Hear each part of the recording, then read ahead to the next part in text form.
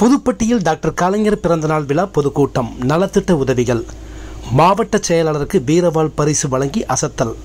ஆலங்குளம் அடுத்த புதுப்பட்டியில் பாப்பாக்குடி ஒன்றிய திமுக சார்பில் முத்தமிழ் அறிஞர் டாக்டர் கலைஞர் அவர்களின் தொண்ணூற்றி ஒன்பதாவது பிறந்தநாள் விழா பொதுக்கூட்டம் மற்றும் நலத்திட்ட உதவிகள் வழங்கும் விழா நடைபெற்றது.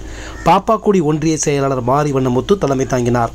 தென்காசி மாவட்ட பஞ்சாயத்து தலைவி தமிழ்ச்செல்வி சுபாஷ் சந்திரபோஸ் ஆலங்குளம் யூனியன் சேர்மன் திவ்யா மணிகண்டன் ஆலங்குளம் ஒன்றிய செயலாளர் செல்லத்துறை சிவலர்குளம் தொடக்க வேளாண்மை கூட்டுறவு கடன் சங்கம் தலைவரும் முன்னாள் ஒன்றிய செயலாளருமான பூல் பாண்டியன் மாவட்ட துணை அமைப்பாளர் புதுப்பட்டி மாரியப்பன் புதுப்பட்டி ஊராட்சி ஒன்றிய கவுன்சிலர் சண்முகராம் முக்குடல் பேரூர் செயலாளர் லட்சுமணன் ஆகியோர் முன்னிலை வகித்தனர்.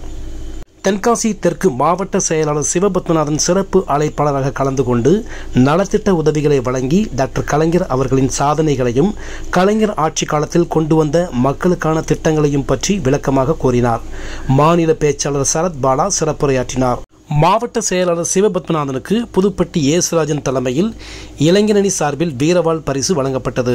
இந்த நிகழ்வில் புதுப்பட்டி கிளை செயலாளர் செல்வகுமார் உதயநிதி ஸ்டாலின் நற்பணி மன்றம் மாவட்ட துணை செயலாளர் சிவ அருணன் மாவட்ட மகளிரணி துணை அமைப்பாளர் சரஸ்வதி பாஸ்கரன் ஆலங்குளம் ஊராட்சி ஒன்றிய கவுன்சிலர்கள் சங்கீதா சுதாகர் பசுபதி தேவி திராவிடமணி மீனா உதயநிதி ஸ்டாலின் மன்றம் பொருளாளர் புதுப்பட்டி திராவிடமணி ஒன்றிய செயல் உறுப்பினர் புதுப்பட்டி ஆசிர்வாதம் இளைஞரணி சண்முக சுந்தரம் ஆலங்குளம் பேரூர் கவுன்சிலர் சுந்தரம் மாவட்ட பிரதிநிதி அன்பழகன் குத்தப்பஞ்சான் ஊராட்சி தலைவர் ஜெயராணிக்குமார் புதுப்பட்டி செயல் வீரர்கள் சங்கரம்மாள் மோகன் மாரியப்பன் குசலவன் ஆதிமூலம் நாகராஜ் மாசானமுத்து சுப்பையா பட்டு கந்தசாமி பாஸ்கர் உட்பட திமுக முக்கிய நிர்வாகிகள் பலர் கலந்து கொண்டனர்.